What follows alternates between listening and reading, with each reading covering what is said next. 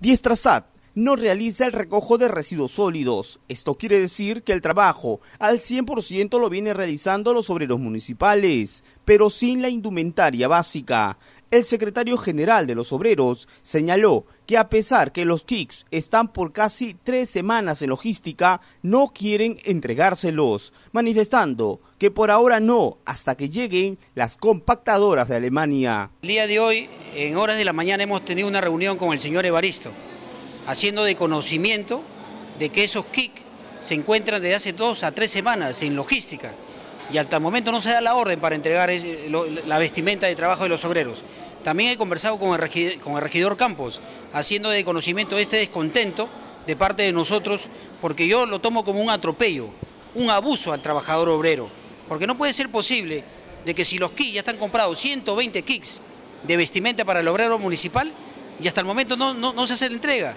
El dirigente lamentó que el alcalde y sus funcionarios esperen que llegue la donación de Alemania para que recién se entreguen los kits, a pesar que los obreros están trabajando actualmente sin guantes, sin mascarillas, sin botas, poniendo en riesgo su integridad física. Entonces, si eso demora, entonces no puede estar, no puede tampoco esperar de que le entregue los kits.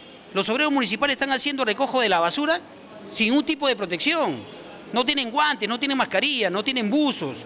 O sea, que, el trabajador obrero se enferme, entonces no puede ser posible que el señor alcalde y sus funcionarios sean tan indolentes con los obreros. Desde hace cinco meses los obreros municipales se encargan de la limpieza de las calles y recojo de residuos sólidos. Pero según señaló el secretario general de los obreros, las calles continúan sucias porque la municipalidad no cuenta con maquinarias y las que tiene ya son chatarra. Que encuentran montículos de basura referente al paqueteo. ¿Pero por qué viene eso? Porque la municipalidad no cuenta con, las computadoras necesarias. La municipalidad solamente tiene camiones obsoletos que ya, ya cumplieron su ciclo de operatividad. Eh, porque mire, Los Molinos tienen problemas, Parcona ha tenido problemas, Santiago ha tenido problemas, La Tinguiña ha tenido problemas. Entonces tampoco los alcaldes deben ser irresponsables de abandonar su jurisdicción y venir a ICA. Entonces el alcalde es, el ente inmediato para tratar de solucionar este problema. Toda vez de que ICA se encuentre en emergencia sanitaria.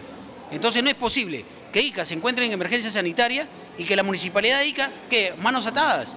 Entonces no es justo. Yo creo que acá tiene que haber capacidad. Tiene que haber capacidad, no incapacidad, porque lo que está viendo ahorita en esta municipalidad es incapacidad. Entonces nosotros pedimos capacidad. Por parte, incapacidad por parte del alcalde y los funcionarios. Claro que sí, porque ellos son los que manejan la administración pública, sobre todo los funcionarios.